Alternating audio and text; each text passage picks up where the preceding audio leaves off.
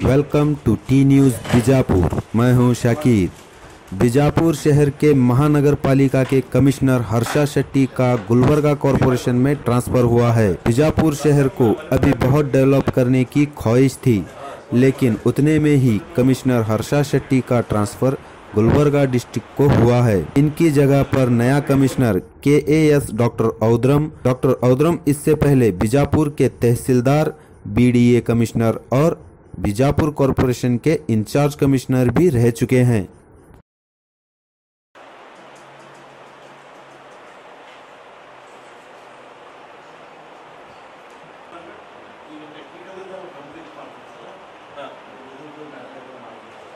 ಹೌದು ಮ್ಯಾನೇಜರ್ ಎಷ್ಟು ಯಾರು ಮಾಡಂಗಿಲ್ಲ ಕಂಪೈಲೇಷನ್ ಮಾಡೋರು